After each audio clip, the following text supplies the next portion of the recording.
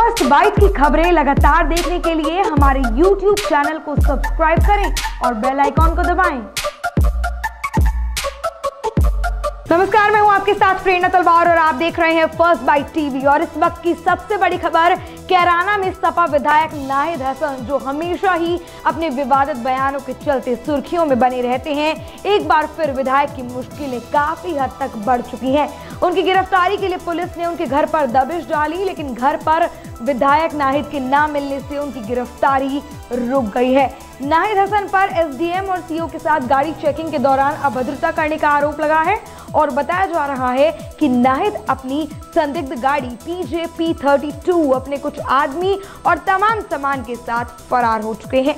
Police ने उन्हें गाड़ी के कागज़ दिखाने का जो सीमित समय दिया था, वो अब खत्म हो चुका है। सीमित समय शुक्रवार रात तक सीमित था और न्यायालय द्वारा हसन के खिलाफ चार वारंट जारी किए गए हैं, जिसमें से एक सर्च वारंट है और तीन गिरफ्तारी वारंट शामिल है। आपको बता दें कि विधायक के आवास के भीतर पुलिस और प्रशासन की टीमों ने काफ़ी देर तक नियमानुसार वीडियोग्राफी के चलते एक सर्च ऑपरेशन जारी रखा, लेकिन उसके बावजूद विधायक का कुछ पता नहीं चल पाया।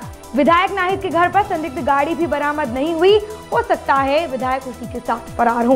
इसलिए पुलिस की 11 टीमों को उनके ज्ञात और अज्ञात सभी ठिकानों पर दबिश देने के लिए रवाना कर दिया गया है और गिरफ्तारी होने तक ताबड़तोड़ छापेमारी जारी रहेगी। ज़ाहिर है पूरे शामली जनपद की सभी जनता की सुरक्षा और मौके पर शांति व्यवस्था बनाए रखने के लिए हज़ारों की संख्या में पुलिस बल पीएससी पैरामिलिट्री बल को तैनात कर दिया है और इसी के साथ पदाधिकारी इस पूरे प्रकरण की जाँच में जुट चुके हैं। उनकी दृष्टि से कार्रवाई पूरे जोरों शोरों पर है। फ़िलहाल इजाज़त दीजिए, लेकिन इस मुद्दे से जुड़ी कोई भी अपडेट हमारे पास आएगी, तुरंत पहुंचेगी। आप तक इसके लिए वीडियो को लाइक कीजिए, चैनल को सब्सक्राइब करना ना भूले, बेल आइकन ज़रूर दबा दें ताकि कोई भी अपडेट आपसे मिस ना हो सके। नमस्कार।